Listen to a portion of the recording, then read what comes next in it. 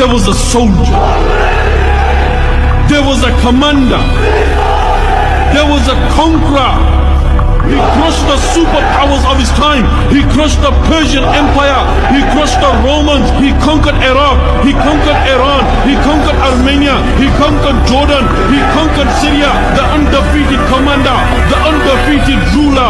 The sword from the swords of Allah Azza wa This is Khalid bin Walid